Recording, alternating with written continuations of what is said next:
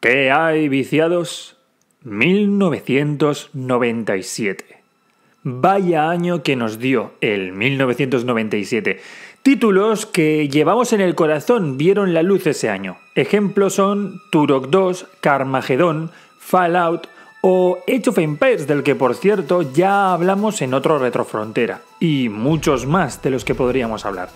Pero el de esta vez es uno que al menos a mí, Sandal, me reporta el momento más feliz de mis viciadas en la PlayStation 1.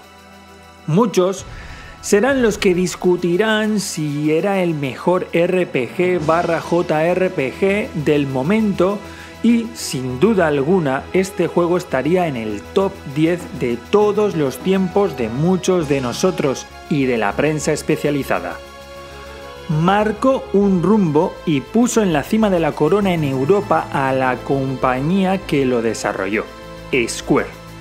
Cloud Strife y el grupo ecoterrorista Avalancha serían los encargados de llevarnos de la mano de esta emblemática historia. Hoy hablaremos del Final Fantasy VII. Yoshinori Kitase, Kazushige Nojima, Hironobu Sakugachi, Nobuo Uematsu y Tetsuya Nomura. Todos ellos fueron encargados del desarrollo de este juego, un juego que fue pionero en la propia saga, siendo el primero en tener gráficos tridimensionales y CGIs. A comienzos de 1994 empezaría el desarrollo de este juego que inicialmente estaba pensado para la Super Nintendo. Aunque su desarrollo fue trasladado a Nintendo 64, finalmente, dada la limitación de los cartuchos, Square decidiría lanzarlo en PlayStation por la capacidad de los CD-ROMs. Recordad que eran nada menos que 3 CDs y un cuarto si contábamos con la banda sonora original. Sorprendentemente, sería el primer Final Fantasy en llegar a Europa, que no a Occidente. Un placer que solo pudieron disfrutar en Norteamérica con los Final Fantasy 1 y 4. Si bien es cierto que posterior al éxito cosechado disfrutaríamos del resto de entregas en Europa. Sephiroth, Aeris, Barret son parte de los personajes que llegaron para cautivarnos de una forma u otra, creando una atmósfera única para todos nosotros. Y como bien he dicho antes, para cambiar el rumbo de una industria, o al menos en Europa, que desconfiaba totalmente del éxito que pudiera tener ese formato de videojuego.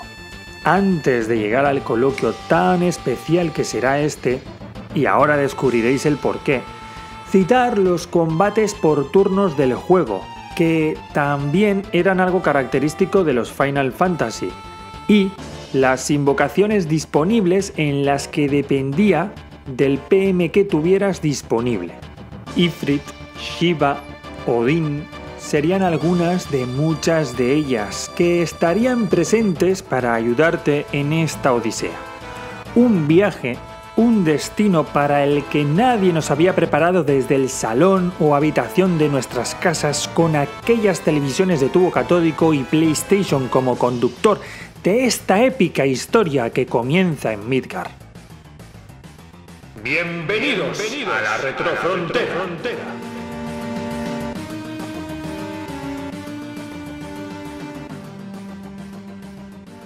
Bueno, pues este ha sido, el, o esta ha sido, perdón, la entradilla del primer retrofrontera de este 2021, que viene algo especial eh, pues como ya decía en la entradilla, que para mí fue sin duda alguna eh, el juego que me marcó.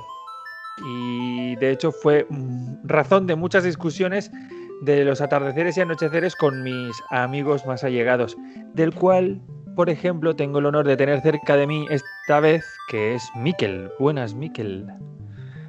Buenas, buenas a todos.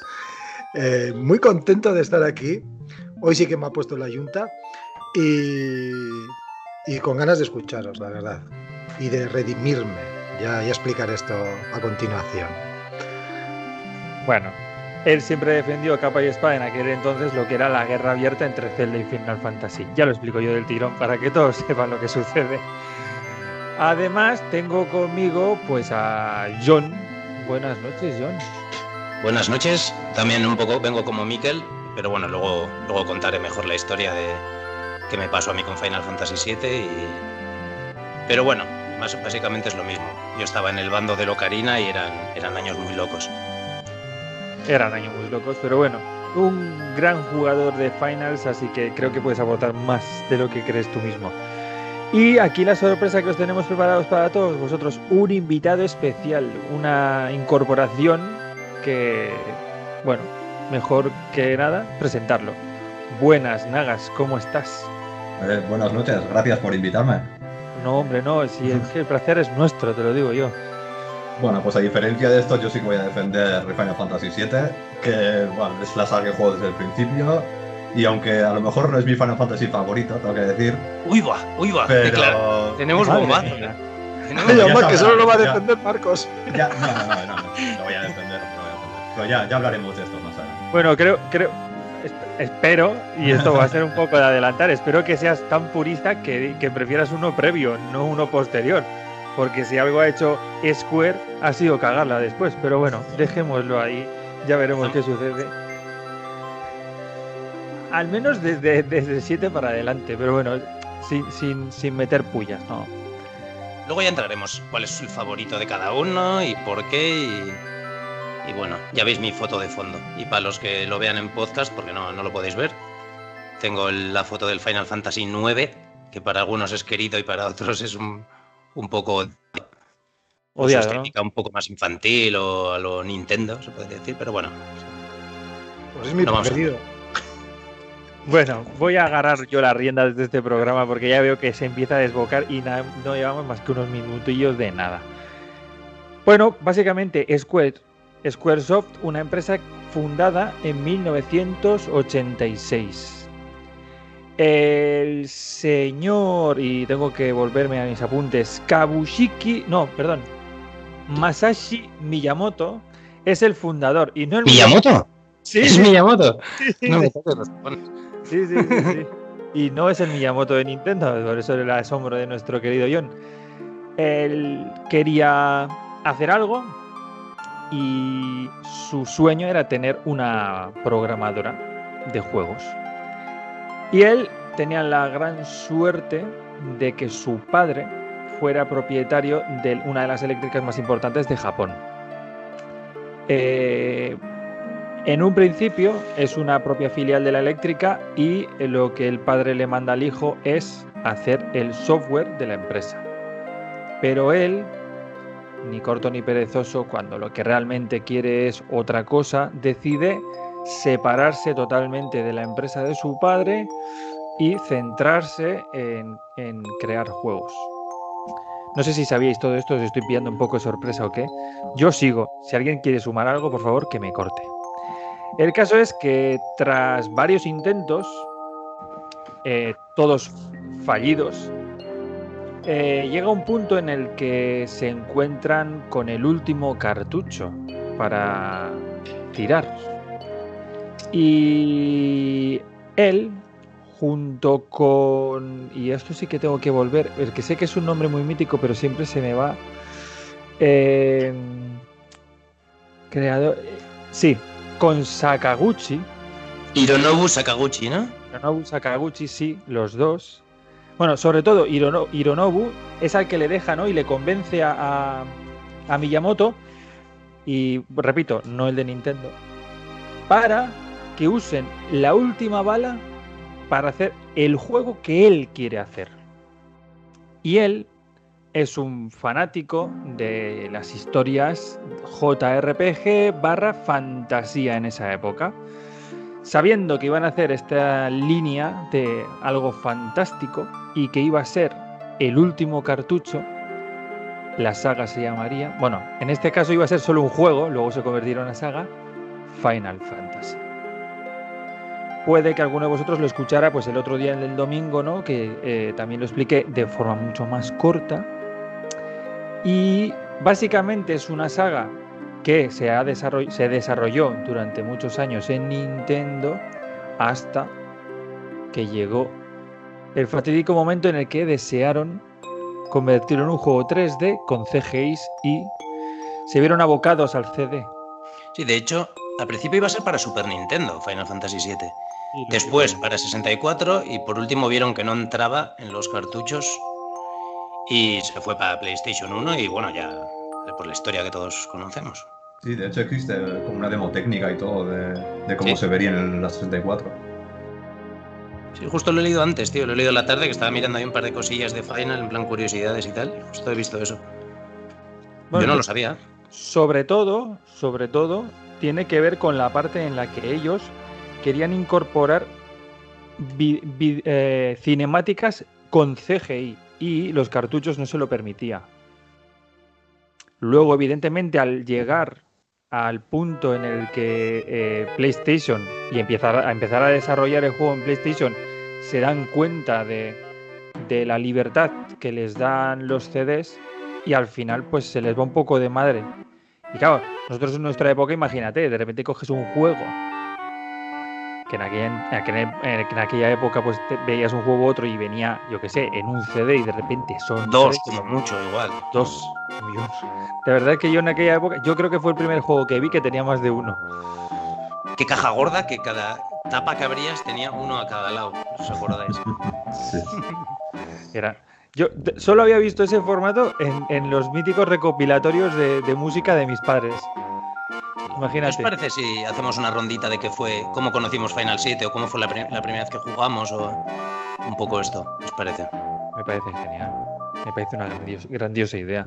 Cuéntame, John, ¿cómo fue tu. ¿Yo? ¿Hizo yo mismo? Claro, por favor. Sí, dale, John. Pues mira, mi historia es curiosa porque yo tuve la 64 y la Play 1. Y en la Play 1 tenía Final Fantasy 8 y Final Fantasy 9, que los dos los jugué y me, me encantaron, pero por alguna razón que supongo que sería por la rivalidad con el Ocarina, no jugué Final Fantasy VII en la Play 1. Lo jugué años después, si no me equivoco, en la Play 3. Así que con eso, figuraros. Y, bueno, en el especial del Ocarina hablamos ¿no? de los juegos que te marcan y, cuando por primera vez ves un juego que te, no sé, que te, que te, cambia, ¿no? O, que no quieres parar de jugarlo. En mi caso fue el, Ocarina. En el, caso vuestro, pues, y en el de Mikel también, supongo, o Karina, o bueno, algún otro juego a lo mejor, ahora nos contará. En el tuyo de Marcos y de, y de Nagas fue Final Fantasy VII, sin duda, pero vengo aquí un poco de puesto del ayuntamiento también, como, dicho, como dice Miquel. y, a mí realmente mi, eh, lo he jugado después, a posterior, el Final 7, me parece un juegazo, pero no es de mis favoritos, la verdad. De hecho, el 8 y el 9, que son de, la misma consola, me, me gustan más, pero porque en su época los jugué y el Final 7 por alguna estúpida razón no, lo jugué. Por cierto, lo estoy jugando ahora en el, en el móvil, que me lo puso Yago. el Final 7. Bueno, antes de que, de que, de que nos, nos, desvíes mucho, mucho el... Eh, Miquel, ¿tú cómo descubriste la existencia del juego? Bueno, yo me remontaría años antes de que saliera. Eh, años antes, sí, yo creo que sería un par de años antes o así, ya cuando estábamos ya recopilando información sobre los juegazos que iban a salir en ambas plataformas, en, la consola de Sony y la, la de Nintendo. Ya iba viendo ya, pues eso, eh, previews, artículos que se veían imágenes del juego y, la primera, lo primero que pensé fue madre mía, pero ¿qué es esto? O sea, es verdad que, ¿en serio que, van a ser así los gráficos?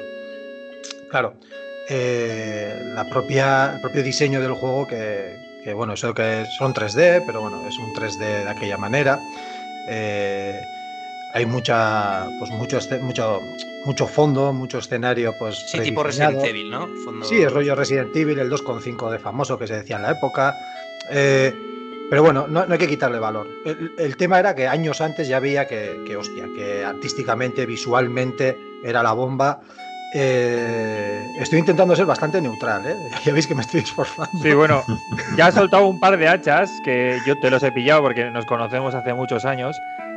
Eh, eran fondos pre-renderizados, no era evidentemente esas 3D puras de tu querido Zelda, sí, es cierto. No, pero intento ser justo, ¿eh? O sea, he dicho que hoy uno de mis objetivos era redimirme. Era, ese, juego, en Era pedir 3D, perdón, era Hace, pedir hace perdón. tres, no sería hace tres minutos no has dicho lo mismo, pero vale. ¿no? A ver, una cosa no quita la otra. O sea, yo la primera experiencia era primero de asombro. De decir, cuando veía las revistas y veía las imágenes de lo que se avecinaba, era, madre mía, qué pedazo de gráficos. Era como, no lo veías en movimiento, veías fotos y, y era exagerado. Entonces ya le puse el ojo.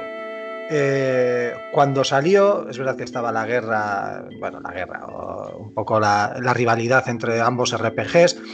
Y, y lo jugué en casa de un amigo. Lo jugué en casa de un amigo, que, porque yo tuve la Play 1 luego, posterior, pero en ese momento yo tenía solo la 64 y la Super. Y en casa del colega disfruté muchísimo, pero o sea, todo el rato intentaba compararlo. Y era ya desde un tema, desde un complejo propio que tenía yo, de decir que esto no es mejor que el Zelda, que mira esto y mira lo otro. Y no lo llegué a disfrutar, no, no llegué a tener una... No, no lo analicé de manera imparcial, que va, era totalmente desde la trinchera y desde, hostia, que este le puede comer la tostada al Zelda. Lo, lo que había de fondo era que de verdad lo consideraba un rival.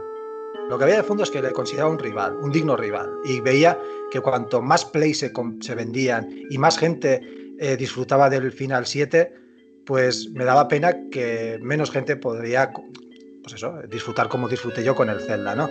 Eh, Pero claro, tú, tú cuando lo pruebas en casa de tu amigo, tú eres posterior a jugar a Locarina. Por tanto, no estás en el 97, no estás, en- estás al menos no, en el era- 98 yo en el que lo jugué 99. más o menos a la par, ¿eh? Yo creo que jugué Hombre, a la par al hay final. hay, hay- hay un año. No, no, primero jugué al final. No, el final salió antes o después. En el un año 97, de un año Eso, antes. eh, salió antes, es que yo tenía esa sensación. Primero jugué al Final y luego ya jugué al Zelda. Y, pero aunque todavía no había jugado al Zelda, ya lo estaba comparando. Yo ya sabía lo que me iba a encontrar con el Zelda. O sea, vosotros sabéis toda la información que iba recopilando. Pues con el Final era como, pero esto no va a ser tres tres puras, esto no sé qué. Y lo que más, o sea, lo que menos me gustó fue el tema de, la- de los- las peleas a turnos, el combate a turnos, ¿no? El, el- el RPG japonés. No estaba acostumbrado a ello. No, no digo que sea mejor Pero o que luego sea peor. Pokémon, si te gusta, el combate por turno. Sí, pero no me llega a enga- no es lo que más me gusta del Pokémon. O sea, me gusta más el hecho de coleccionar, el hecho de explorar. O sea, el tema del combate a turnos, pero es por un tema de que no estaba acostumbrado. O sea, Bueno, luego hablaremos de una de esta cosa porque el remake del Final 7 ya no es Bueno, por turnos. eso- Ahora es. No, no, el no, Final no, Fantasy tanto, XV chicos, tampoco. Por favor, no, no seáis así. Ya, bueno, resumiendo, Eh, resumiendo sí, sí, porque ya a mí que ya de por sí ya se me está yendo, ya se Sí, está metiendo, resumiendo, me está metiendo el puñalín y tal. Mira que no, no. Yo Hoy lo no- que hoy no es quiero día es de agarrar- puñales. Hoy no es día de puñales. Resu- O sea, eh, no lo llega a disfrutar lo que el juego se merecía. Por, por Uy, lo uy, que uy, acaba de uy, decir Rodri, Alejo, bien a y porque lo veía lo veía muy rival para, para- para el juego que yo quería disfrutar. Y luego a posterior sí lo jugué, sí lo disfruté y quitándolo del combate a turnos, me parece que fue, si no, el mejor, si no es el mejor juego del- de los 32 bits, el top 3 y uno de esos juegos que yo Me envidiaba encanta, poder me jugar encanta. en la Me- 64. Lo siento mucho que, que haga esto, me encanta la puntualización. Mejor juego de los, De los 32 bits. Sí, sí. Es que no me suelto, ¿eh? sigo ahí. Quiere reírse, pero te dice cositas como esa, porque para que, para que como quien no quiere la cosa, te la deje ahí por si algún día se lo puedes decir. No, no, él diga, no, no, yo dije 32 bits. O sea, yo marqué mucho. Mira, Yo creo que nos encontramos claramente ante el juego de culto de los JRPG. O sea, de JRPG, sí, te digo, primero que me viene a la cabeza es Final 7. Y aunque yo igual también, mi yo opino igual que yo. Eh, igual que yo. sí, chicos, chicos. Nagas, ¿me cuentas por favor cómo conociste el Final? Sí. Pobre Nagas. necesito Vale. de alguien que Sí, por favor, porque acabo de llegar y veo que estáis calentitos y me gustaría escuchar a Nagas. Sí, sí, os voy a contar. Pues a ver, esto era el año 97. Imagínate que yo tenía pf, 10 años, era un zagalillo, sin más. Venía a jugar a la Master System, Mega Drive, cuatro cosillas, juegos arcades, en plan de sin nada. En la Play me la pillé, que imagínate, con Tomb Raider. Y me de jugar a eso. De repente empiezan a contar en las revistas y movidas. Tú, es que mira, mira lo que viene. Es que mira lo que sale. Mira lo que está asoma- asomando por el horizonte. El Final Fantasy VII. Que, a ver, que sí que es verdad que habéis dicho que, ¿no? que se fue a Sony por lo de los CDs y los, los vídeos y eso, pero es que Sony también vio sangre diente. Se le hizo publicidad al Final Fantasy VII a muerte. Esto se anunció por todos los lados. Yo no recuerdo una revista de la Play sin análisis o página grande de Final Fantasy VII, el típico Cloud mirando ahí el Ghost o lo de, de Sinra de fondo. Bueno, total, que me lo pillé en el 97 y la primera vuelta que le di. Pues eso, lo jugué súper a gusto, me gustó la historia. Ahora, decir verdad, igual lo entendí del todo, pues no lo sé, por ahí con, con esa no sé si llegas a entender el fondo, la historia que tiene el Final Fantasy VII. Y el uso de materias y todo eso, yo creo que yo creo que lo jugué terrible, me lo pasé, pero nada que ver cómo lo jugué eh, años posteriores, volver a retomarlo y ya sabes, pues, más maduro, volver a entender la historia, poder ver los trasfondos, poder entender pues, lo que está contando el juego más, más allá de los textos que de eso tiene mucho también Final Fantasy VII. Sí, eso también es Los otro famosos doblajes, o sea, de la traducción, ¿no? Que es La terrible. localización en castellano, el, el famoso frío. No, no, no, me refería más Ah. a- a- al estilo de las imágenes o que eso fondo renderizado que, que decías, no, es que eso no se puede hacer en 3D porque hacer imágenes pues que cuentan mucho, ¿no? El- esas imágenes, ¿no? Que ves, eh, pues significa esto, el- cómo están los personajes tumbados, cómo están eh, el pueblo que está derruido con los cacharrillos ahí, ¿no? La- el, el parque roto y tal. Esas cosas que igual no te están diciendo directamente, no, es que mira, aquí ha habido una ruina y se ha roto esto, pero tú lo ves que está así. Y con eso más, más ejemplos, ¿no? Que, que hay a lo largo del juego. Pues justo lo estoy jugando yo en el móvil ahora y tengo que decir que no ha envejecido nada mal, ¿eh? O sea, los personajes sí que se les ve todos los poligonoces, pero los fondos y tal se mantienen con, con mucho honor, ¿eh? La verdad. Claro, claro, son, son muy finos. Bueno, y Rodri, ¿tú qué? Que por cierto, oyente, se nos ha incorporado Rodri de forma no sorpresa, sabemos que venía, a mí se me ha olvidado presentarle, bueno, advertir que esto sucedería. Cuéntame. Buenas noches. Tú también me estás haciendo bullying como Quintan. No, no, no. Bueno, ¿qué te voy a decir yo de Final Fantasy VII? Yo sí que lo- no lo jugué en los 90, porque en esa época no me... Ay, perdón, Rodri, me quería mutear a mí y te, te muteaba a ti, lo siento. He sido un crack. Estás diciendo que en los 90, perdón. Que yo qué voy a decir del Final Fantasy VII, si eh, realmente yo llegué más tarde, yo no lo pasé en el 97, porque yo en esa época era Nintendero a morir, estaba con la 64, me pasé el Zelda, el Majora's Mask en mi corazón, bla bla, más tarde, bla bla bla bla.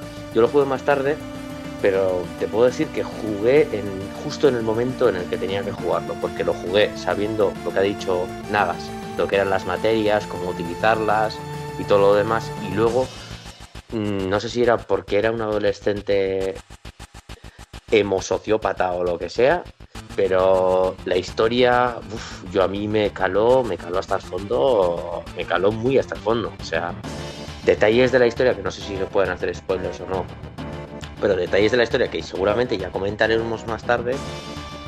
Lo de Aeris, la muerte de Aeris, no me la esperaba ni de coño. O sea, Eso fue, eso marcó una época. El, O sea, fue un- que muriese un personaje en la historia se habría un personaje tan querido además, o sea, es que era... le tenías que pensabas, ¿qué haces con Tifa? Por favor, vete con Aeris. y ha marcado un canon en los JRPG. Básicamente ahora mismo es, es como un, un básico el que muera el personaje chica y el ir a buscar al niño perdido del bosque en el primer pueblo. Hombre, posiblemente en aquella época lo que estábamos disfrutando era de una de las aventuras más complejas. Y adulto, porque tener en cuenta que hablamos de un juego que los protagonistas son de un grupo terrorista. ¿No? O sea, eso, tiene, eso también tiene, tiene su historia.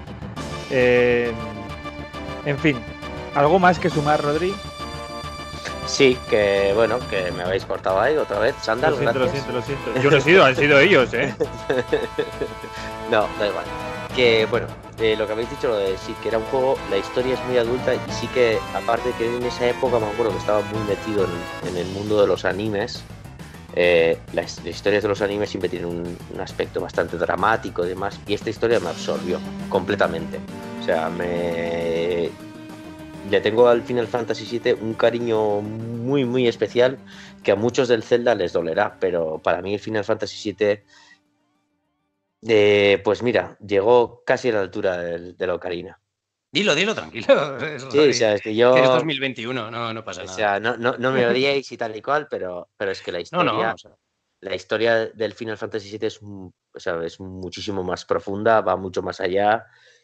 Y luego la parafernalia o casualidad de la época en que lo jugué, sacaron el, igual Nagas tú ya lo has jugado, el que era el de la PSP, que era el Mm. Final Fantasy VII El Crisis Core. eh, Crisis Core, qué puta barbaridad de juego también. claro, la historia no contada en el 7.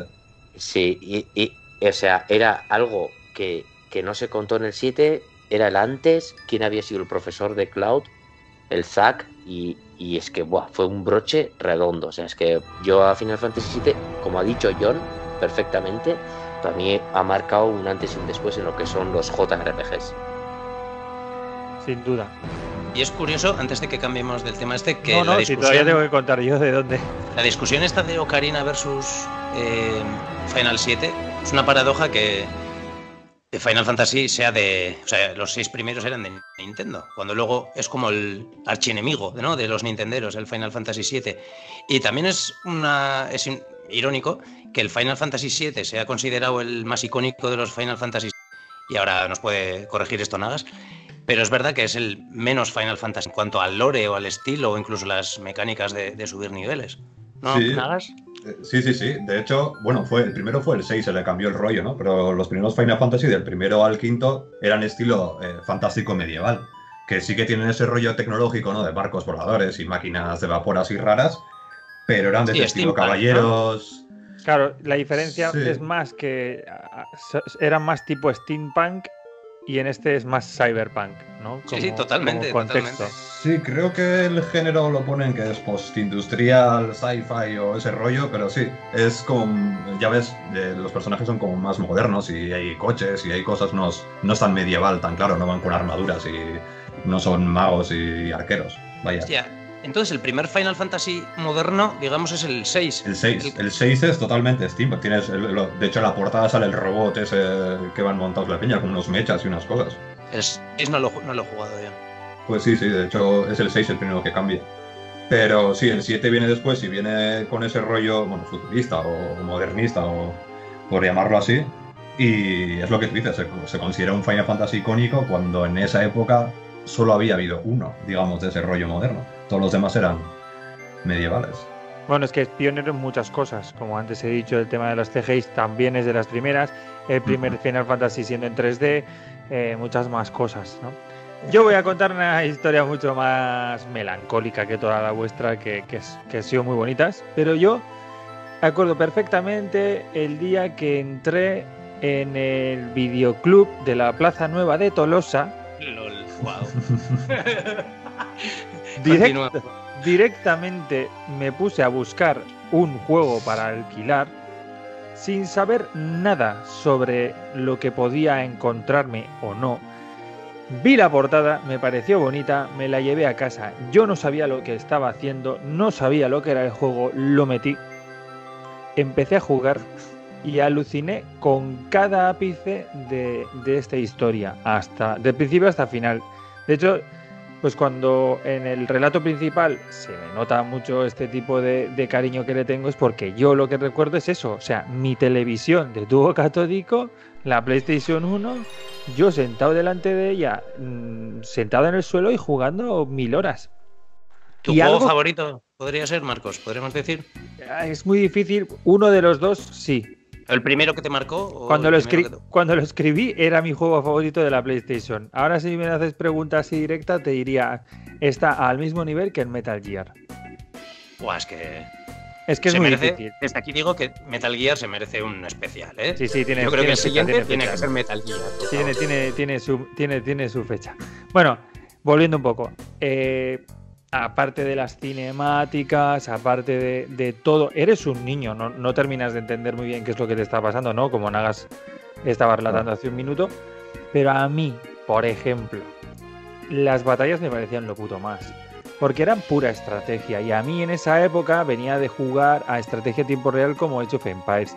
Warcraft, cos- co- cosas de este tipo, y entonces el hecho de que no fuera un tipo hack and slash o lo que fuera y que me diera la posibilidad de tener mucha estrategia dentro de la batalla me parecía la leche. El hecho de poder eh, invocar y que cada vez que yo invocara tuviera una pequeña CGI, esas cosas para mí eran, era retroalimentar mi, mi imaginación de niño. Ya que te lo flipaste es muy fuerte. Claro, yo me lo lo flipasteis. Yo me lo flipé mucho, yo me lo flipé mucho porque este juego fomentaba mucho eso. ¿Devolviste el juego en el videoclub? Es mi duda. ¿O Eh, te lo quedaste para siempre? Ese Final Fantasy VII de la Plaza Nueva. Lo, lo devolví, lo devolví. Lo devolví. Y la verdad es que lo curioso de, de esta historia es que nunca mm, luego volví a comprarme ninguna ninguna copia o lo que se le asemeje. O sea, me lo pasé esa vez y ya está.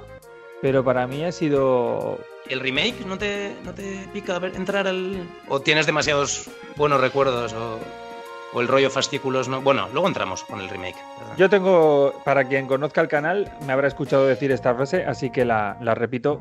Yo soy anti-remakes. A mí si me decís que es un juego sin remake, no lo juego, prefiero jugar al original. Si me dices que es un remaster, lo juego. Me parece justo. ¿Y el Mafia 3? Ya lo iba a decir si acabas, si te pillaste el Mafia, que era un remake. Hace dos meses. Pero bueno, pero bueno, por favor. Pero Es un- bueno, ¿eh? El, el 2 es un remaster, el 3 también, el 1 era el remake. El, el 3 es otra cosa. El 3 es Bueno, otra cosa, sí. bueno, eh, creo que esto va directo al Instagram, a uno de los memes de, de la semana. Bueno, si no corto la mía, esta tampoco. Exacto, me parece genial. Pero en, en gen- en general es así, ¿eh? Es mi, mi- mi filosofía es esa.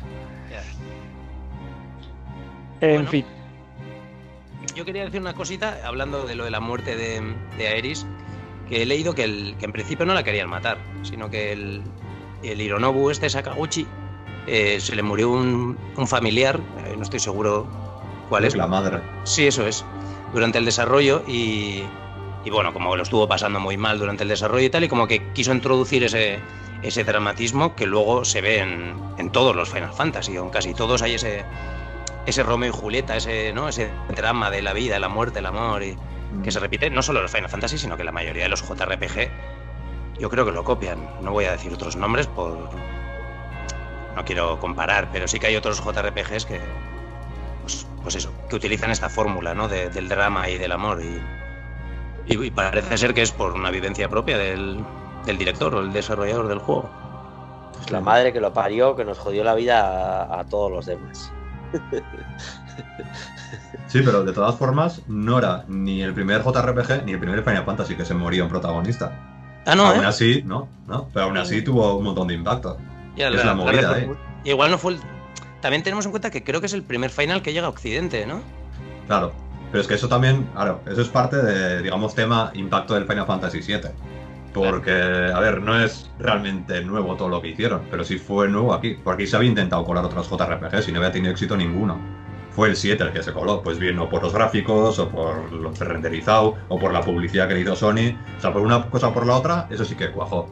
Bueno, es pero donde- eso- esa historia además, esa historia es bien bonita también, ¿eh? Porque eh, si bien los Final Fantasy cuando salen tienen mucho éxito y por ejemplo el primero que fue eh, allá por 1986-87, no sé, no me acuerdo bien la 87 fecha, primero, sí. sí, 87, s- ya en principio el día de salida no, no pretendían sacar muchas copias porque tenían miedo al fracaso. Como ya he explicado antes, era su último, su último cartucho.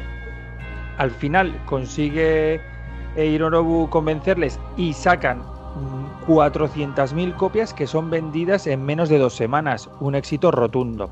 Pero es que luego, cuando pasa toda la historia del Final Fantasy, que se pasa de la Super Nintendo a la Nintendo 64 y al final termina siendo en la PlayStation, evidentemente eh, la campaña de marketing es enorme.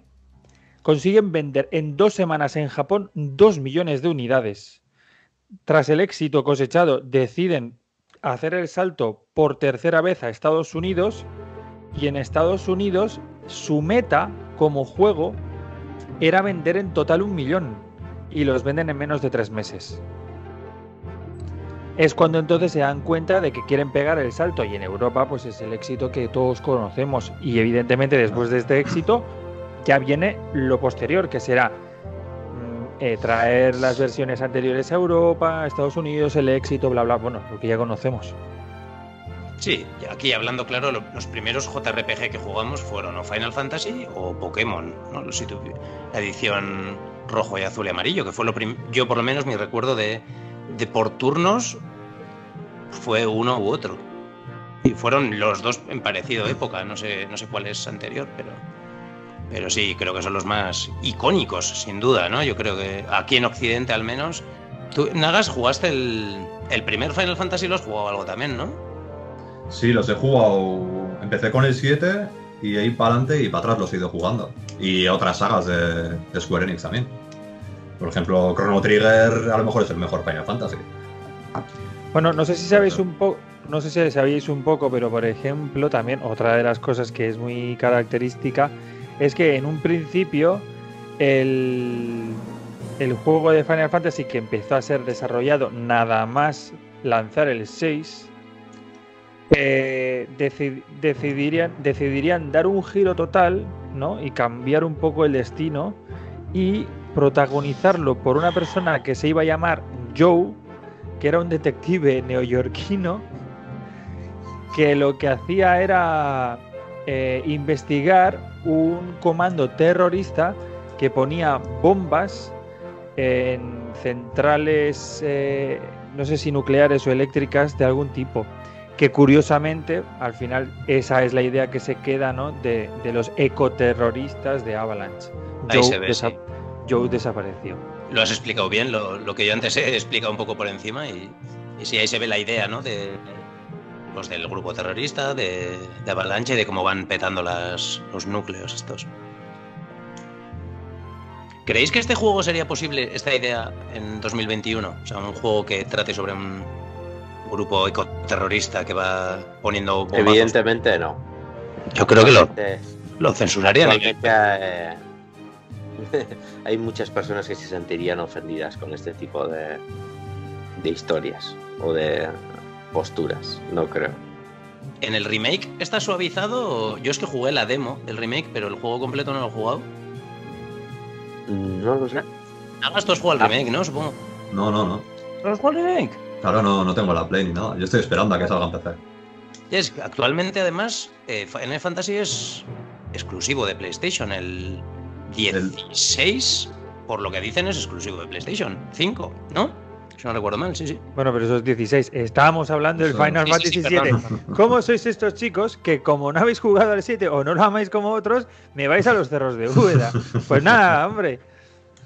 Ah, ¿cómo sois? A ver, sumadme algo al lore. ¿Qué me cuentas, Nagas? Del lore, algo que digas, madre mía. Mira, a mí lo que más me llama la atención de Final Fantasy VII respecto a otros JRPGs, a ver los juegos para adelante y para atrás, es la forma que tiene de contar el lore. No es tú vas un personaje y tienes un montón de texto que te dice bla bla bla, pues por ejemplo, Sephiroth. Cómo se presenta Sephiroth en el juego es tremendo. Porque tú de Sephiroth no ves nada. En verdad, a ver, que todos a Final Fantasy VII y Sephiroth lo tienes como muy presente. Y es como un personaje, mira, está ahí, está ahí. Pero es que en el juego lo ves dos veces, tres veces, o sea, lo ves muy poco. Es el juego que te está contando ahí, ¿no? Es que es ha sido Sephiroth, ves su espada, ves que si las leyendas, las historias. Pero no es un personaje que te dice, no, es que Sephiroth era súper poderoso, Sephiroth es tal. Te hacen un flashback en el cual tú estás jugando y tú vas con tu Minundi de club de jovenzuelo con un lado, no sé si os acordáis de esa escena, sale un dragón ahí andando cerca de Nibelheim, le pegas tú y le pegas de 20. Coge Sephiroth, le ataca al dragón 3500. Y tú, ups, vale, este tío es poderoso. Es así como se presentan un poco los personajes y, y- y los lores, ¿no? O, por ejemplo, lo de Aeris. Que, a ver, no sé, se le coge un cariño a Aeris, no sé qué. A ver, en otros JRPGs también se habían planteado personajes para que le cojas más cariño, ¿no? Pero en este juego, ahí me hace gracia porque te lo plantean como Cloud, obviamente, es el mejor personaje, porque tiene los mejores stats, tú lo vas a tener, es el protagonista principal. Y el siguiente personaje que cura a todos, que tiene los mejores stats de magia y tal, es Aeris. Entonces, son como los dos personajes que siempre tienes en el grupo. Entonces, cuando ocurre lo que ocurre, no solo te duele a un nivel de lore, de oh, ha muerto un personaje, sino es que encima me han quitado unos mejores personajes que tenía en la party, que lleva desde el principio de, de- de la historia, ¿no? Conmigo y eso. Entonces, Y eso es algo de... que se repite en otros Final Fantasy también, como el 15, ¿no? Claro, claro. Eso de, de no solo contarte este personaje o no, es que tú quieres un montón este personaje y luego se va y dices tú, bueno, pues eso, ¿por qué me lo has dicho tú? Sin embargo, el juego hace, ¿no? Hace que, que tú como que sientas cierto aprecio hacia este personaje o no sé, lo consigues por lo menos, haciendo con esas mecánicas más, más allá de, la historia, haciéndote jugar con ello y así. De hecho, de hecho, si yo, no sé si esto lo compartirás conmigo, Nagas y, y Rodri, pero yo cuando llego, llego a la lucha con Sephiroth, más que odio, siento admiración por el personaje. De hecho, yo hubiera matado por tenerlo. Más que matado de admiración, sí le tienes un respeto impresionante. No sé, es lo que ha dicho Nagas. Del momento ese de que realmente tú le pegas 20 y él pega 3500, dices, vaya puta mierda de persona soy. Y la de horas que me quedan por meter. También. Es uno de esos casos que el villano está a la altura del, del héroe, ¿no? Cuanto menos. Sí, es, mira, eso es una cosa que quería decir y se me estaba pasando, que es que eh, este es, creo que es uno de los mejores villanos de la historia de los videojuegos. O sea, el carisma que tiene Sephiroth no la tiene ninguno con sus cuatro frases y el final del juego es un Souls Likes de, de, de, los JRPG de la historia. O sea, madre mía, la de veces que lo tuve que hacer con mis millones de invocaciones y me, me machacado. ¿Cómo me machacado, tío? Esas batallas que ya hemos pronunciado antes, ¿no? Eh, eran épicas porque por turnos, pero podía plantarse 45 minutos de lucha por turnos. que Era, hostia, que, que, que, plantearse es el hecho eso es el, la potencia que tiene Sephiroth y no quiero joder a los celdas y tal nada más pero quiero decir como por ejemplo en el Breath of the Wild sin querer hacer daño a nadie y tal y cual eh, a mí cuando fui a por Ganondorf hostia el Centaleón me costó más ¿qué quieres que te diga?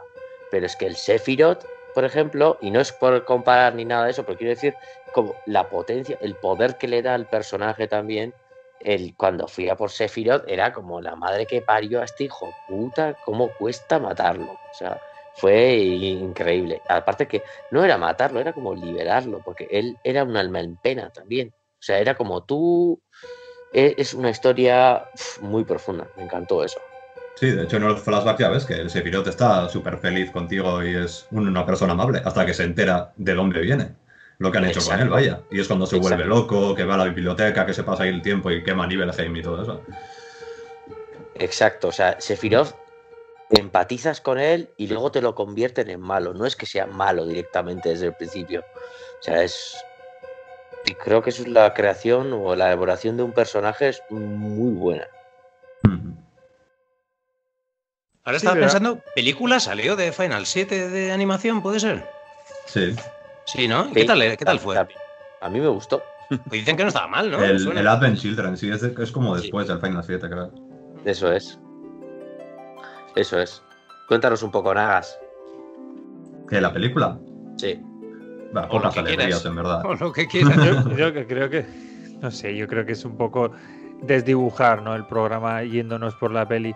Eh, perdona, eh... para mí no es desdibujar, por ejemplo, si hablamos del Crisis Core, que añade el comienzo de, de, la historia de cómo Cloud consiguió esa espada. Esa espada era de su profesor. Y el Crisis Core todo el mundo lo ha dejado así como si nada. Y fue el de los primeros Final Fantasy que metió eso combate-acción en plan Tales of Eternia. ¿Te acuerdas, Nagas? Ya, pero en ese caso estás hablando de un spin-off de un videojuego. Bueno, en verdad el Crisis Core, más que spin-off, es la historia real de, de Cloud del Final Fantasy VII.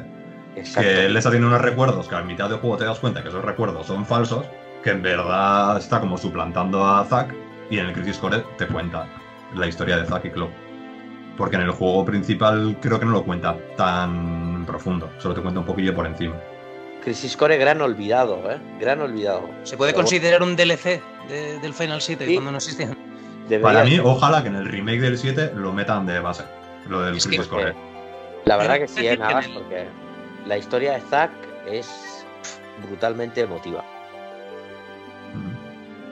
Que en el Final 7, por lo que he escuchado, eh, bueno, yo ya, he dicho antes que solo he jugado la demo, pero que se permiten meter cosas nuevas. Eh, o sea, que mantienen pues, lo, lo, lo, que hay que mantener del 7 para que no sea demasiado diferente, digámoslo así, en la historia, pero como que se han atrevido a meter cositas nuevas, así que no sé. ¿No hablas del remake nuevo del 7? Sí, sí, sí. Ah, no lo sé, a ver, porque no lo he jugado, pero sí que he oído que no es un remake al uso. Que a lo mejor hay que haber jugado al Final Fantasy VII primero antes. Porque tiene unos twists por ahí. Ya. Curioso. No a mí, lo que me han el, contado. Bueno, yo no tampoco sé. De hecho, el otro día me dijeron que va por capítulos y no, no tenía ni idea de que sí, eso fuera sí. así. Sí, sí. Sí, sí, primer capítulo es solo la parte de Midgar, del juego principal. Sí, sí, yo, al menos, yo voy a esperar a que salgan todos y cuando salgan todos me, lo, me voy a disfrutar, voy a coger mis pañuelos y lo voy a disfrutar como un niño. Creo que Yo no sé, ¿eh? ojalá, pero creo que no van a llegar a salir todos. O sea, no sé. No sé cómo lo tienen pensado ni. Midgard, ¿cuánto, ¿cuánto de juego sería en el Final Fantasy de Real? ¿El primer CD? No, Menos. menos, menos. Hasta que sales al mapa del mundo. Eso es, no es Ya. nada. Exacto. Me pare- me- se me hace difícil pensar que puedan hacer todo. O sea, quiero decir, es tan ambicioso el, el proyecto que han podido hacer solo la primera parte y, y han tardado un montón de años y les ha costado un pastizal. Me cuesta mucho creer que puedan hacer todo ese, a ese nivel, todo el Final Fantasy VII, que es larguísimo. Y, Pero bueno, si, Mid- ojalá. si Midgard es un capítulo, van a ser 20 capítulos por lo menos para acabar el Final 7 entero. Ya, O se van a saltar partes ahí. No sé. no sé. Habría Joder, que preguntar. Dios. y aparte están con el Final 16. Ah, ¿Y por qué estamos hablando del remake? Ya no sé, yo he sido yo. He sido yo, perdón. Porque es la, es la forma que tienen ellos de poder conversar. Es la única manera que tienen. No deflectes. Cuéntanos, sac- sácanos algo más. ¿Qué, qué más nos has Espera, traído? espera, espera, yo quiero saber qué piensa Miquel, por favor. Miquel, por favor. De todo lo que hemos dicho hasta ahora y de lo que has vivido tú en esa época, ¿qué nos puedes decir? Estás muteado.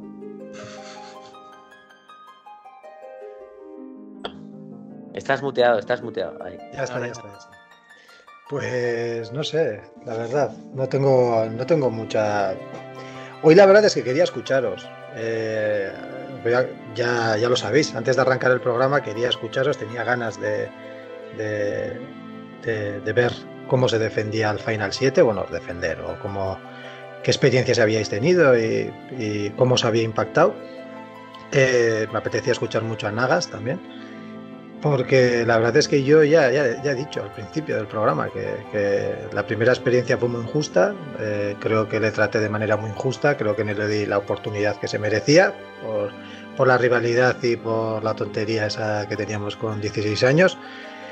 Eh, creo que siempre lo miraba de reojo porque veía un digno rival de- del RPG que yo pues, eh, siempre más he querido. Y, no llegué a entender mucho el tema de los turnos, eh, la mecánica de combate, porque estaba muy acostumbrado a, RPGs pues, como Illusion of Time, Secret of Evermore, Willow, eh, Zelda de la NES, eh, todos, Lufia, todos estos que, bueno, que eran estilo mapa, eh, combate en tiempo real y, y- y no tenías que tiempo para pensar. Yo de todo esto, la sensación que me queda es que le voy a dar una oportunidad ahora, años después, cuando tenga, cuando me venga la oportunidad o se presente, yo que sé, de alguna manera, pues en el móvil mismo, que ha dicho John que ahora lo está jugando, pues yo creo que, que puede ser así, de ese formato. Creo que lo voy a jugar, lo voy a ver, pues eso, voy a intentar valorarlo de manera imparcial y a ver si consigo disfrutar. Desde luego, eh, siempre ha sido un juego que, que lo he echado en falta en el catálogo de Nintendo.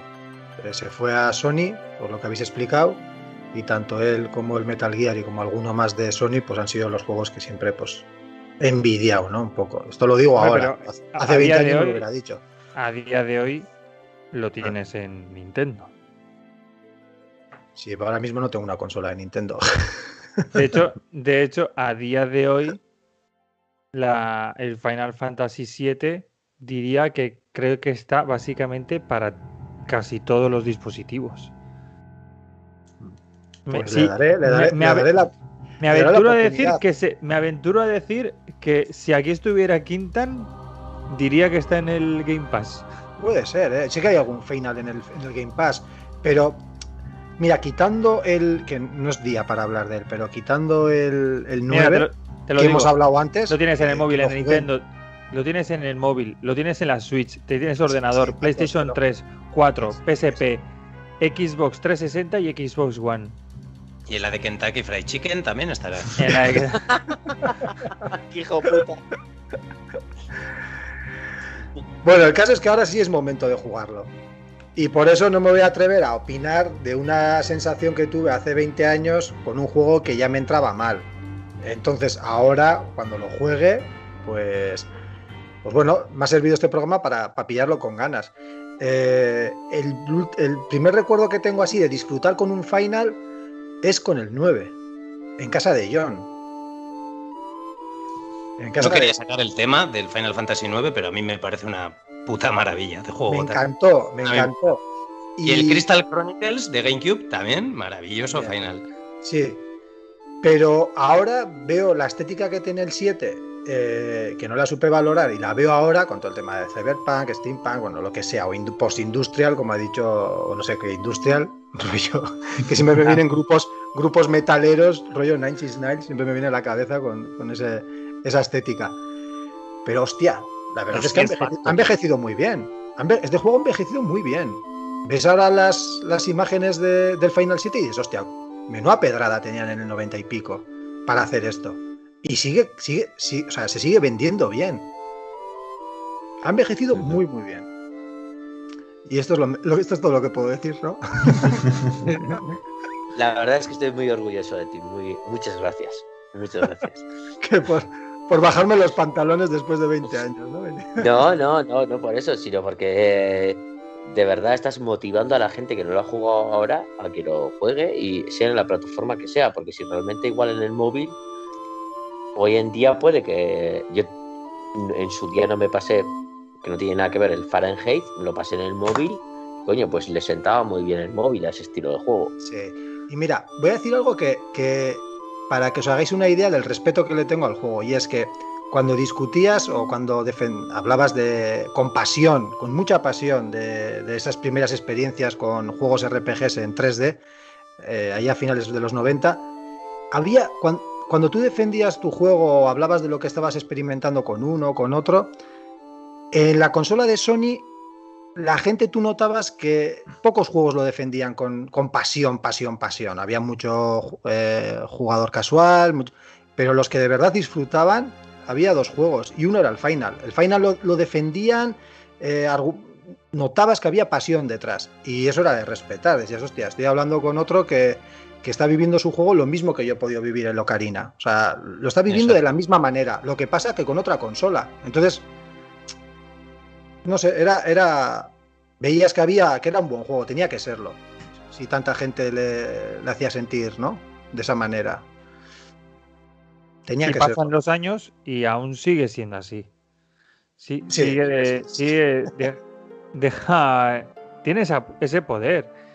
De hecho, sí, lo tiene, Más allá de lo que te pueda gustar o no, de lo que unos u otros puedan opinar y del gusto de cada uno, sin duda, casi todas las personas, y como he dicho en la entradilla, prensa especializada, siempre todos se paran al decir Final Fantasy VII la niña bonita de esta saga, la, auténtica estrella dorada, o sea, al menos y ya no intentando ser lo más objetivo posible. Y, tiene muchos detalles. La música, por ejemplo, la música es una gozada.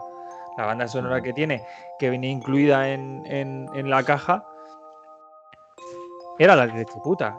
Y no sé si sabíais, pero por ejemplo, Aquí nuestro eh, compositor Nobuo Uemachu, en vez de lo que utiliza sean música u efectos de grabaciones o lo que sea, el tío se agarra básicamente el MIDI interno del chip que tiene la PlayStation y se marca las composiciones. Coño, pues eso dice mucho. Para mí al menos dice mucho. Sí, sí, hoy en día todavía es hay un grupo de música, el Black Mage, que suelen hacer orquesta de Final Fantasy, que suele hacer, creo que de forma anual en Japón, que tocan las bandas sonoras de, los Final Fantasies. el, tú, el Nobuo Machu es a nivel de Joe Hisaishi de, de Ghibli. Se hacen conciertos anuales de sus bandas sonoras. Es una locura. ¿Es el de todos los Final? ¿Hace el.? Ha, hecho, ha hecho de muchos. En algunos a lo mejor no es el principal compositor y así, pero yo creo que está. Si no está en todos, en casi todos está metido. Qué fenómeno. Y tengo que dar las gracias a Marcos porque por una vez ayuda en algo. Y es, hostia, se me había olvidado la banda sonora, tío. un Uematsu, tío. Si lo escucho casi todos los días.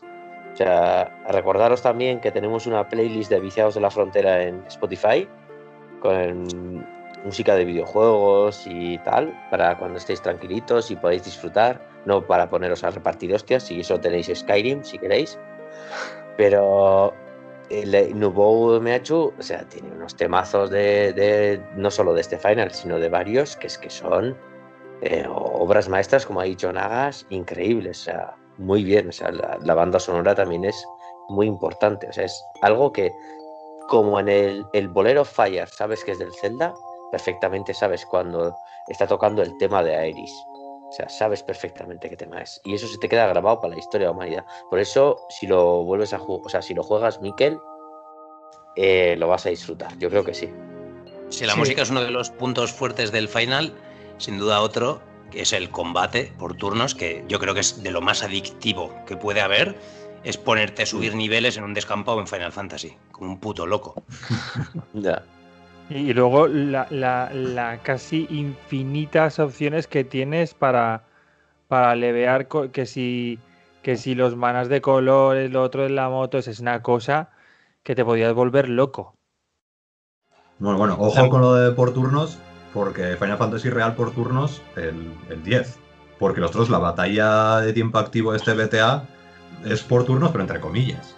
Porque sigue avanzando durante las animaciones y Sí, que ahí el tiempo corre, ¿no? ¿Quieres decir? Sí, sí, sí, sí. Sí, Ya. sí, Que de hecho hay una mecánica de, de speedrun, la de ATV Hold, que tú sabes que si no tienes elegido ataque, magia, inven- inventario tal, el tiempo va corriendo. Y mientras, mientras estás en animaciones de invocaciones o de combate, el tiempo también está corriendo.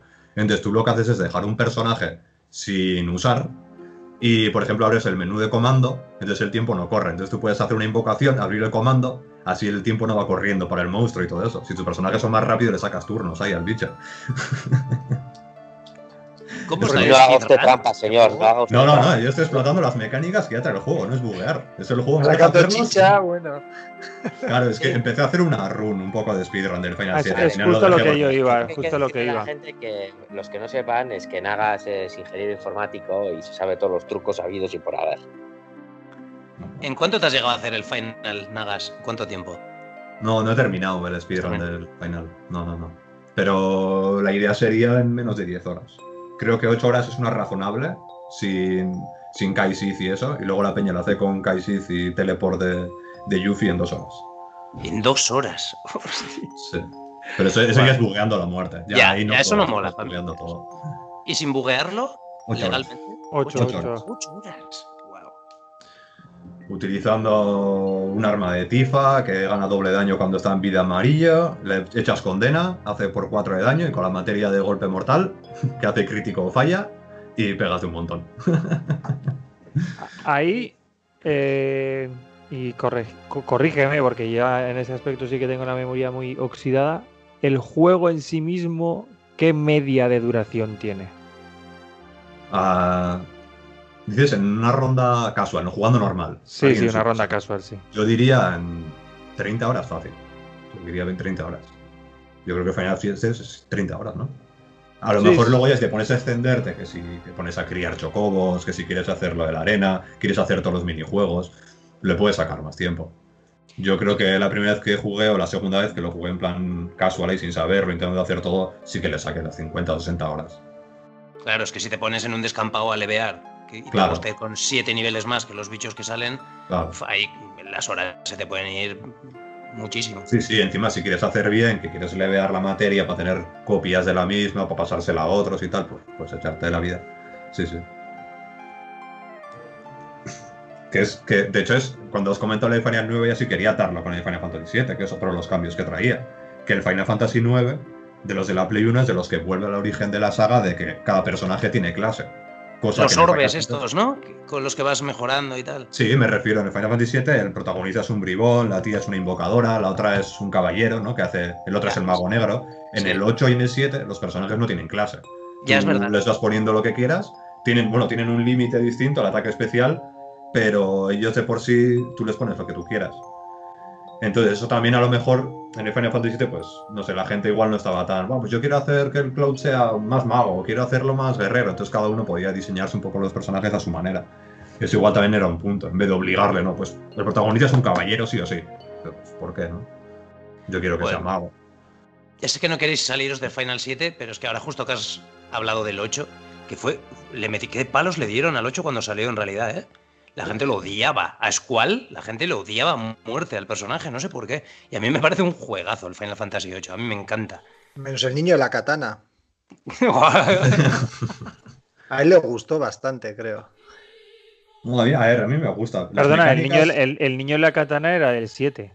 No, era del 8. Era del 8, era del 8. Era Sí, era de Squall, su ídolo. claramente. Si, iba- si tenía el pelo igual que él. Y vestía igual. Sí, sí. A él le gustó. El niño en la katana tiene documental posterior sí, que arrepintiéndose escuchen- de todo. ¿Ah, sí? Sí, yo lo he visto. Bueno, un chaval que asesinó a sus familiares con una katana y decía Pero eso, eso, de eso, eso- hay que, hay que, hay- tengo que, además voy a aprovechar este momento porque si ves en el documental él también lo deja claro. Eso fue la prensa sensacionalista de la época y Como él con Doom, ¿no? Lo que pasó con el Doom también. Sí, sí, sí. coincide que es una época, es una estética, pero Doom, ya anda. Bueno, En sí, no, no vamos a entrar a esto. Na- Nagas, Sí, cuéntanos alguna, alguna cosita de los Final Fantasy, algún, alguna cosita que nos has traído así. A ver, pues esta- os estaba comentando lo de las mecánicas y eso, y lo de los personajes, ¿no? Que, que no traen clase, cosa que hasta ahora los Final Fantasy van trayendo clase. Su protagonista era un guerrero, le acompaña un mago, un mago blanco, las clases míticas de los Final Fantasy, y en el 7 y 8 no tienen. Pero tampoco es del todo verdad, porque en Final Fantasy VII los personajes tienen distintos atributos. Por ejemplo, el Cloud tiene todo bastante más alto, pero personaje principal todo tiene alto. Pero por ejemplo, Barret tiene bastante más vida. Un segundo eh, mago pues sería Vincent, que tiene bien de magia y espíritu, tiene más maná. Entonces ahí también tú puedes hacer tus, tus estos, ¿no?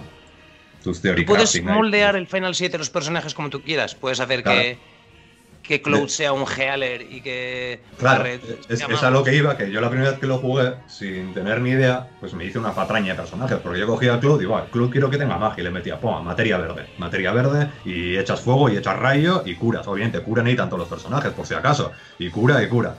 Claro, tú no sé si te acordarás ya, pero es una mecánica de las materias verdes, es que te quitan vida, te quitan fuerza, te dan maná, te dan magia, pero estás perdiendo fuerza. Y dices tú, a ver, ¿por qué estoy poniendo la Cloud materias verdes? Cuando en verdad quiero meter a materias moradas o amarillas que te dan más daño, que te dan unos comandos de ataque, te dan más velocidad, te dan actuar más rápido, te dan esquiva. Entonces, mm, igual hay que dedicarle cierto tiempo de aprendizaje para poder utilizar las materias y eso en vez de simplemente empezar a meter coloritos y, y atributos. Las materias de invocación, por ejemplo, todas bonitas que son, pero te quitaban un montón de vida. Meter una materia roja en un personaje era, era ruina. Igual 20% de vida por 20% más de maná y quitar otro tanto de fuerza para darle a, a magia. Entonces, Pero lo jo, bonito que quedaba. claro. Bueno, y cuando eres ni cuando eres joven, cuando estábamos en esa época, pues esas cosas tampoco nos importaban. Claro, yo como no va a querer tener una invocación en el cloud, ¿no? Y digo, "Bueno, pues, pues claramente aquí invoca a este y ese también va a poder invocar. Y ahora lo dices, no, pues igual voy a centralizar la magia en un personaje, a este personaje voy a hacerlo más melee, o más tanque, o como sea, ¿no? Que eso está la materia a cubrir también. Que en este tipo de juegos, como por turnos, estilo Final Fantasy, cada uno está de un lado, es difícil jugar como con tanque, ¿no? Porque hay otros juegos, vale, pues yo me pongo delante, pues yo me pongo tal. Que de hecho en el Final Fantasy tienes, tiene las dos líneas, puedes poner el personaje delante o puedes ponerlo atrás. Y aquí tienes la materia esta de cubrir, pues que el personaje se pone delante de, de los otros personajes para poder recibir el daño en vez de los aliados. Y así es la forma que tiene el Final Fantasy de hacer de tanque, vaya. Bueno, básicamente las, las materias que teníamos presentes en el juego eran la materia verde o, o- o de magia, materia amarilla, más tipo comando, la materia es. azul de apoyo, la, la roja de invocación y la morada que era independiente por sí misma.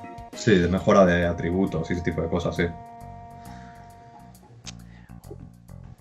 Pues justo ahora que he estado jugándolo en el móvil, eh, con lo de las materias, esto me estaba volviendo un poco Loki, ¿eh? O sea, había bien eh, qué poner, a quién poner. Me, me- me andaba liando, chaval. Es que es que es, que un- es infi- infinito, ¿eh? Es Me está viniendo de perlas ahora que estáis comentando esto, la verdad. Claro, Sí. porque luego lo mismo, tienes los enlaces, ¿no? De las armas y armaduras que son enlaces dobles o son individuales y pues, tienes que poder juntarlos o no y esas cosas. Claro. Eso ya, pues, lo vas mirando. A mí me gustaría preguntaros una cosa a los que disfrutáis con los JRPGs. ¿Cuál es la mayor A los que disfrutáis, ¿no los disfrutas tú? Que no. ya dicho antes que él es de ARPG total. O sea, le, gusta el total, de. Action RPG. Mira, jugué al Taleson Sinfonía y al Taleson Maná y cosas así. Bueno, Los Eh, Tales of están guay también. Joder que sí. Tales of Eternity está en mi corazón. sí, bueno, sí, dejadle, sí. dejadle preguntar, por favor, Me chicos. preguntar, ¿cómo me podréis, cuál sería la mayor virtud de, de- del combate a turnos? Bien sea puro puro o como el Final 7, que bueno, que el tiempo transcurre y cosas así. Eh, ¿Cómo me lo podríais vender? Digo, por si hay algún oyente o así que esté en la misma situación que yo y que, que no sé, que también los vea con cierto recelo, ¿no? Este tipo de combates a turnos. Eh, ¿Por qué disfrutáis?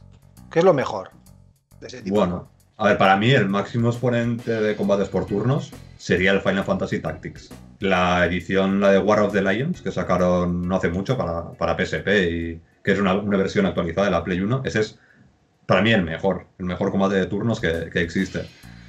Y pues no sé, a lo mejor es lo más cercano que puedes tener de un ajedrez fantástico, por decirlo así. Que ahí tienes las casillas, mueves personajes con los comandos y puedes lanzar un hechizo aquí, pero sabes que el hechizo va a caer en, como pone ahí, en, dos, en dos turnos, podríamos llamarlo.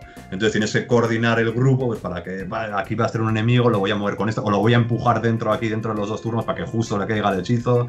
Voy a echar guardia en esta dirección, mientras este personaje pues va a protegerle este otro flanco con otra movida. No sé, ese tipo de cosas es, es, es, genial.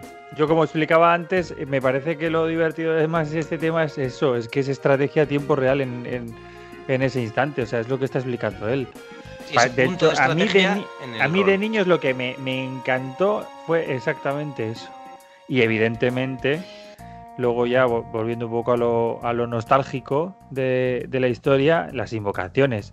O sea, lo- lo- Mm. los, los, F, los FMV, los- lo- las cinemáticas de ver cómo invocas a, a Choco, a Shiva, a Ifrit. Y luego, claro, evidentemente cuando vas transcurriendo la historia tienes cada vez mejores. O sea, no sé si recordáis, pero personajes como Alejandro, que llegan al corazón, porque claro, nosotros éramos eh, chavales de España en el noventa y tantos, y de repente ves, aunque no tenga nada que ver, pero un tío se llama Alejandro y tú haces, sí, eh, subidón, subidón, y ya si, si tenías la gran suerte de, de pillar eh, los caballeros de la mesa redonda. Y los cinco minutos de vídeo que traían. Exacto. Exacto. A ver, eh, Belcebú, esa no, eh, Belcebú iba a decir, no, Hades, Vamos. eh, Out. Ya, es que hay- había mucha, mucha, mucha tela Mítico que Ifrit, cortar. ¿no? El Ifrit, sí, Ifrit el el de típico de fuego. Que al Sí, que de también- hecho ahí.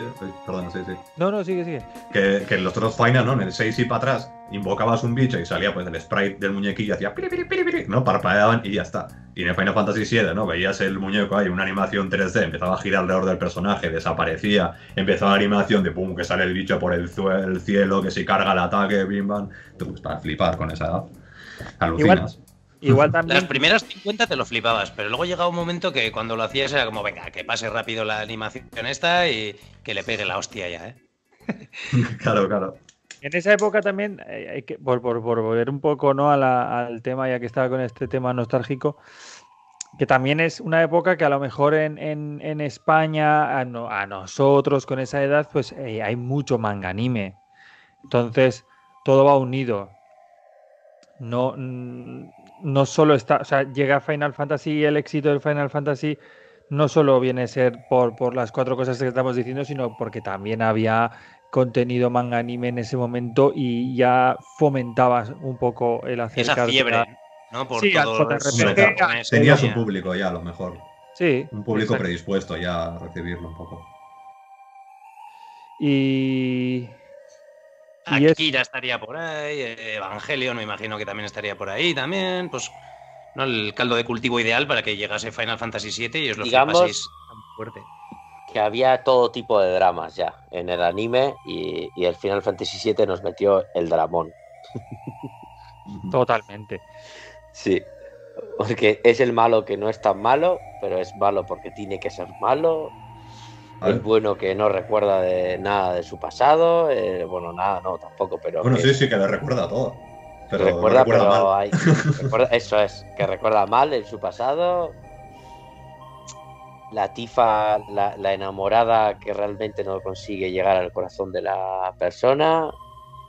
el amor verdadero que muere. O sea, es un puto dramón el Final Fantasy VII del carajo, tío. ¿Qué tal, si, ¿Qué tal si nos reímos un poquito más y hablamos del fatídico error de traducción al castellano que tuvo? Porque a lo mejor, pues Uf. vosotros no, pero yo os puedo decir frases que podíamos leer jugando. A ver, dime. Sí, sí, sí. Son divertidas. Son muy divertidas, ¿eh? Pues a ver, eh, por ejemplo, así porque sí, te ponía, ¡qué frío! Fría.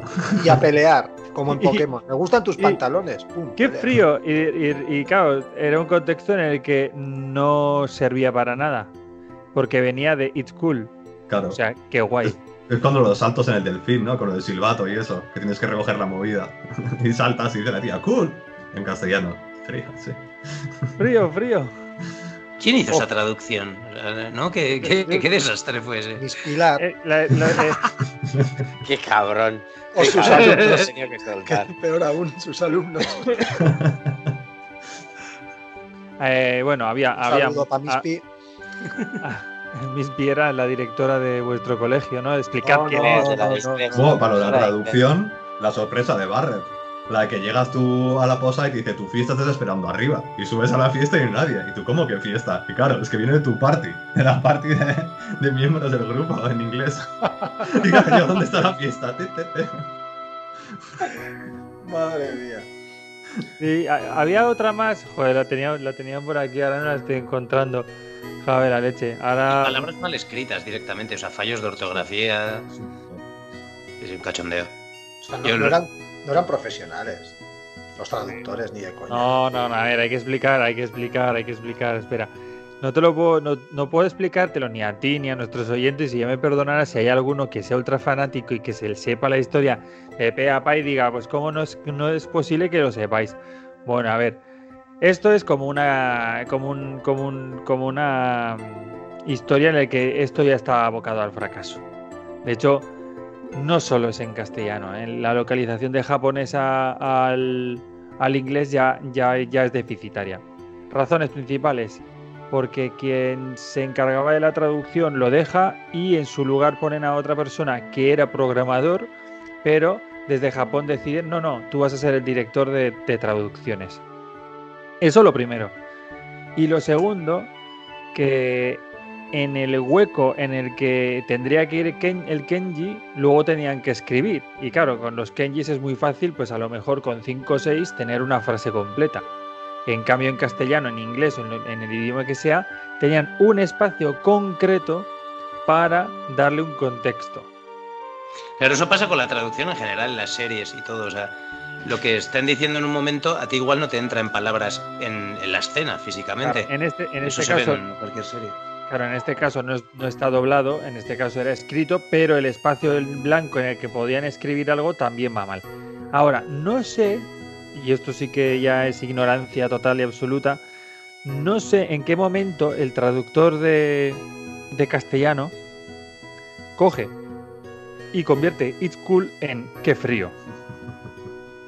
Ahí también debe haber un fallo de contrataciones. No, no, no, no sé muy bien cuál es el error. Había prisa.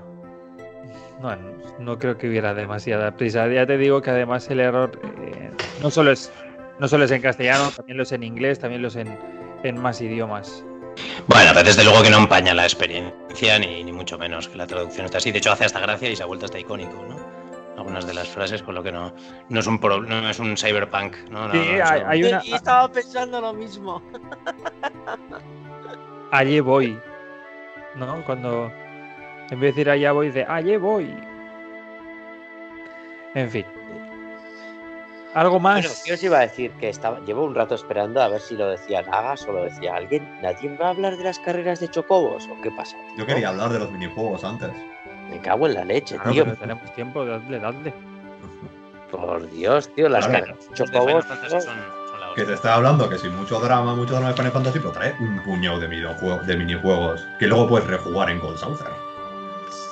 Sí, sí, sí, eso es, que son, son, y encima son entretenidos, tío. Yo me acuerdo, el que más me acuerdo es la carrera de chocobos. que tenías darles, que darles de comer con verdura, no sé qué, no sé cuánto, para... Sí, Para- criarlos para luego la carrera y. No era un hacías poco- colores. ¿Tú jugaste al Sonic Adventure, el de la, el de la Dreamcast, que era con los, los chaos, que tenías que criarlos y luego les hacías Sí, con- sí, un poco a lo Tamagotchi.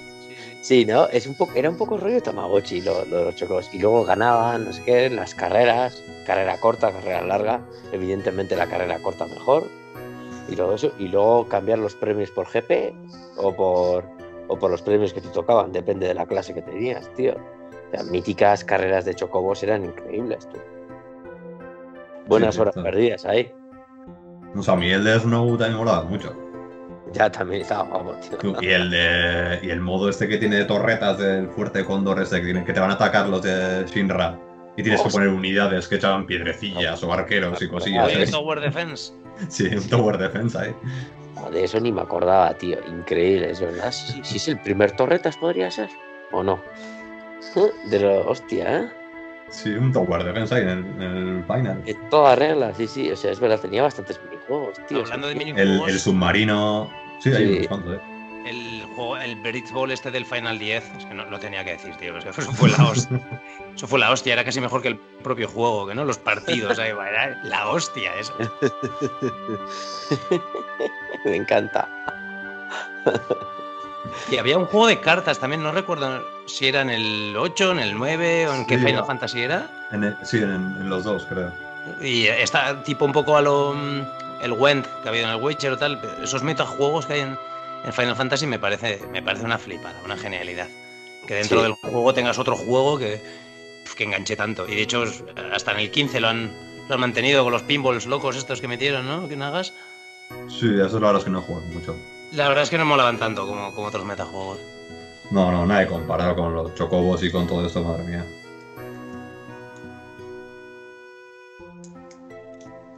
¿Se podría decir que la época del 7, 8, 9 es la época dorada de la saga Final Fantasy, Nagas? ¿Tú crees? ¿O, o cuál? ¿O solo Bueno, 7 y pues- 8 a lo mejor? ¿O 6 y 7? ¿O cómo lo ves? Pues, pues no sé, la verdad es que el 7 trae un montón de cosas nuevas a la saga. Y el 8 sigue con ello, ¿vale? Cambia la historia sí, pero también tiene su, sus minijuegos y, su- y sus cosas ahí. El 9... Bueno, no sé, es que la verdad es que el 12, que está muy atrás de todos los números, y a mí el 12 me gusta un montón. De hecho, recientemente lo he jugado en HD y está muy, muy bien. Me parece un Final Fantasy súper completo. ¿Y por qué, por qué entonces esa no admiración por el resto, no? O sea, un poco en la comunidad y estos días que estaba mm, mirándome cosas, escuchándome algún que otro podcast de otra gente y demás. No sé, si- casi siempre lo que he escuchado más ha sido como, no, no, el 7 es intocable, los anteriores son, son la leche, pero a partir del 8 ya eso es capa caída. Ya, no sé. Sí, yo creo que es un poco eso. Es, Que post- yo creo que a partir del- Sí. es postureo. Sí, perdona, Naga, si no continúa. Que digo, a decir que a partir del 13, si acaso igual sí que se. A mí el 13 no me gustó, la verdad, personalmente no, no me gustó y.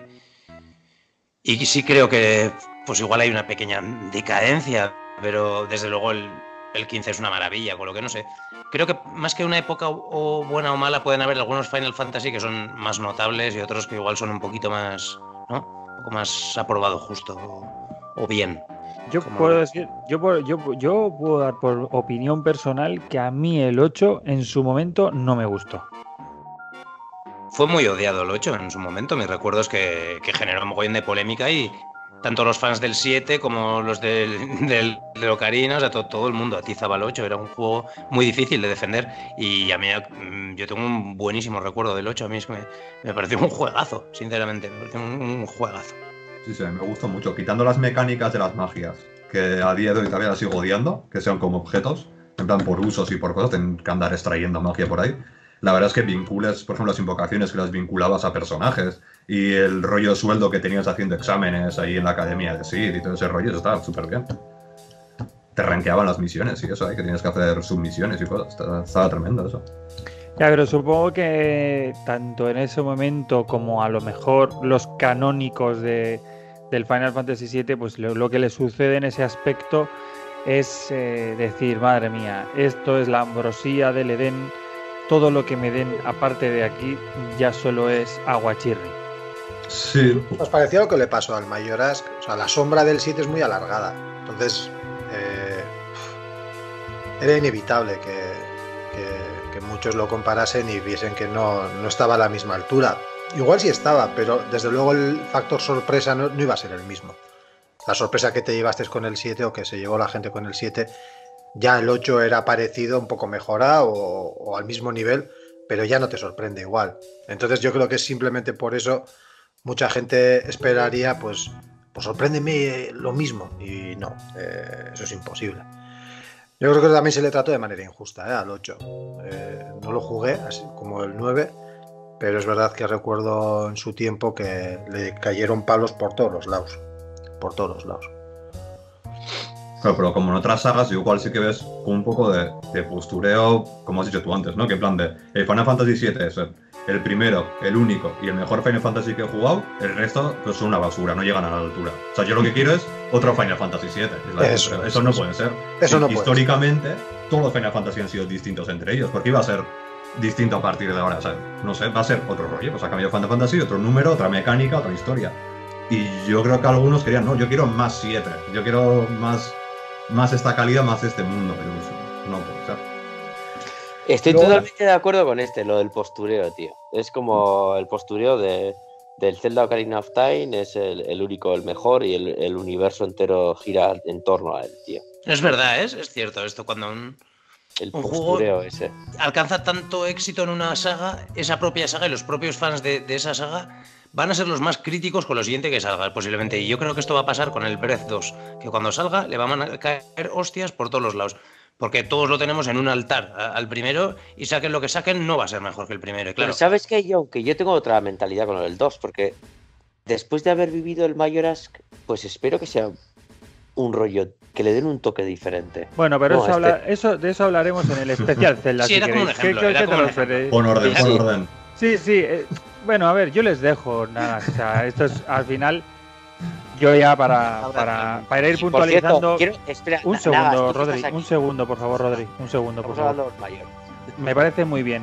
Irreverente como tú, único, pero un segundo. Recordad a los oyentes que esto es un Retro Frontera, que tiramos mucho más de la nostalgia, de, de lo que nosotros sentimos, de lo que nos gustó, que no venimos a ser veraces como otros podcasts de los que a lo mejor pues te han venido con datos y que vienen a analizar temas. Nosotros pues ya veis, somos unos amigos que estamos como en la barra del bar tomando algo y hablando de lo que nos gusta. Ahora sí, Rodri, si quieres, te dejo hablar. Pero no porque tú seas mayor, sino porque yo te dejo.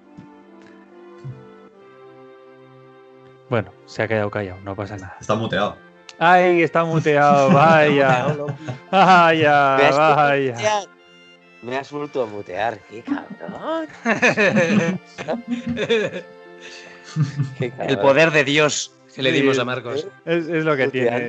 Es lo que tiene. Es lo que tiene. Ser irreverente y irrespetuoso con tus mayores. Bueno, ¿qué más sumáis, Seamos- chicos? No seamos irresponsables, por favor, déjeme hablar. Eh, nada, tengo una duda para ti, tío, porque yo me acuerdo que yo jugué al 1, 2 y 3, que no tiene. Sé que estamos hablando del 7 y tal, pero esto es una duda que yo creo que muchos tendrán. Es que yo jugué al 1, 2 y 3 con emulador en mi IBM de la época de 100 MHz de velocidad. Y Sí. luego, o sea, el 1, 2 y 3 son el, el 4, 5 y 6. O sea, no entiendo este rollo, tío. El lanzamiento norteamericano, mira, si miras aquí, Final Fantasy VI, el 6 de Japón, el normal, en, el Final Fan- en Estados Unidos se lo trajo como Final Fantasy III, en 1994. Entonces, echa números para atrás y ahí tendrás más o menos el enlace de cómo lo comercializaron en Estados Unidos. Ah. Muy bien, Nagas. Pero ¿en qué momento se ocurrió al 6 llamarlo 3? O sea, ¿no? O sea, pues ¿qué lío porque si vas a empezar a traer el Final Fantasy IV a Estados Unidos, y en vez de llamarlo, pues os traemos el Final Fantasy IV, y dice, ¿cómo el 4? Dice, pues toma Final Fantasy y ya está. Sí, bueno, ¿Para qué quieres pero, sí, pero a Europa bien que llegó siendo el 7. Sí, bueno, eso ya sí. Pero si en su día pensaría en eso, me imagino. Empezar a vender un Vaya título a partir ma- de 4 o así, dijeron, bueno, pues ponemos otra numeración para Estados Unidos y ya está. Y luego ya cuando salió el 7, ya digamos que con el 7 ya se globalizó todo, Cupillo Europa y todo, pues ya reajustaron los números. Bueno, chicos, chicos, ¿alguna cosilla más que tengamos en el tintero? Algo antes de que vaya cerrando este momento tan bonito. Algo Pues que tengáis. feliz. Luego no vayáis a decir que nos dejo de decir cosas y que os corto, que os muteo. Que. Nada, gracias a Nagas por venir, que se ha venido aquí a nosotros hoy. Eso es, tío. Hagas, grande. ¿Qué va? Si yo esta chapa se la he contado a mil personas de fiesta, ¿cómo no lo voy a contar con un podcast?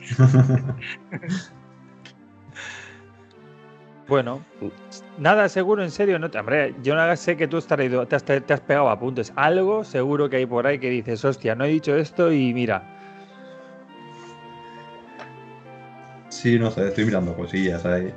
Pero suéltate, eh, que no pasa nada, que podemos alargarlo. O sea, que, que- que luego lo edita John, así que yo ya he editado el, el otro de esta semana. Bueno, Nos vamos a cenar, chicos. sí, eh, a ver, pues para despedirme, soliloquio, que no, que, no, que no cunda el pánico. Básicamente recordar que sin duda alguna este retrofrontera que ha sido especial para mí porque me reporta a mi infancia y a Nagas y a Castan y hemos tenido la gran suerte de que nos acompañara el redentor de Miquel. me ha mirado con una cara que casi me mata. Eh, nada, que, eso, que si esperabais que esto fuera algo más de datos, os equivocasteis de canal, porque nosotros veníamos con el cariño, con el amor, con lo que realmente nos gusta de los juegos retro, que es recordarnos que fuimos unos niños, que nos fueron nuestras primeras andanzas, los primeros pasitos, el, el ir a gatas, el ponernos en pie y terminar corriendo en este mundo del gamer.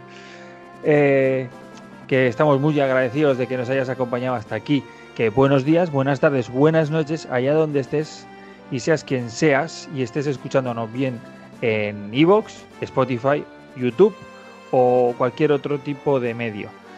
Que, recorde- que recuerdes que tu like nos ayuda enormemente, que nos sigas, que así te enterarás de cosas nuevas que llegarán a lo largo de, de estos días, que ya en breve empezamos a entrar en febrero, de hecho será mañana el día 1, y ya habrá cosas nuevas, una nueva retrofrontera, un nuevo indispensables, todos los domingos nuestro programa para el repaso semanal, y que, si te ha gustado, lo compartas.